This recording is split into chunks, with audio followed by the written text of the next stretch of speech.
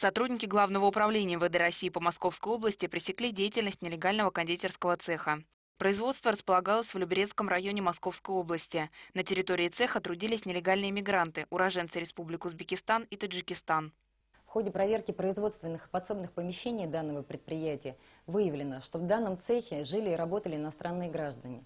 На момент проверки у иностранцев отсутствовали документы, подтверждающие их законное пребывание на территории Московской области и документы, разрешающие им осуществлять трудовую деятельность. Также выявлено нарушение при производстве продуктов питания и соблюдении санитарно-эпидемиологических норм.